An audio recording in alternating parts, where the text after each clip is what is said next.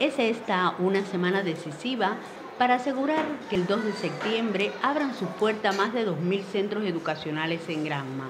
Labores de higienización, detalles en la reparación de libros, compensar el déficit de materiales que hay que importar, una vez más, aunar voluntades para recuperar y enfrentar el recrudecimiento del bloqueo. Que tenemos un plan de 26.475 elementos de muebles y se han reparado ya 26.697. Los politécnicos granmenses desde el pasado curso arreglan sillas, mesas, le dan valor de uso al mobiliario deteriorado y áreas. El propio medio de enseñanza que ha abarcado fundamentalmente el municipio de Manzanillo, Campechuela y Bartolomé Mazú. Y se ha reparado además por la parte del EPASE, con la Brigada de Reparación de Mobiliario, la parte de la enseñanza técnica y profesional, los trabajadores por cuenta propia que actualmente fue que se comenzó a trabajar con ellos a partir de que no existía respuesta de equipo.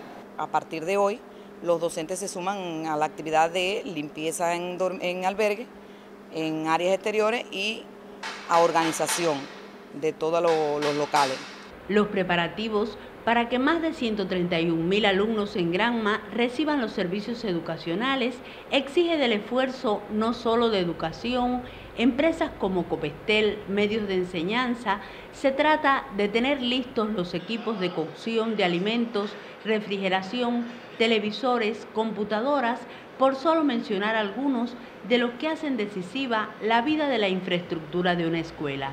En los laboratorios de informática previmos en el mes de vacaciones venir con el, con el compañero que atiende el nodo a darle una revisión a los laboratorios, que las máquinas en el mes de vacaciones no perdieran la, cuantía de que estuvieran funcionando. Eh, hoy revisamos todas las máquinas de los laboratorios, las tenemos listas para comenzar la docencia a partir del día 2 de septiembre.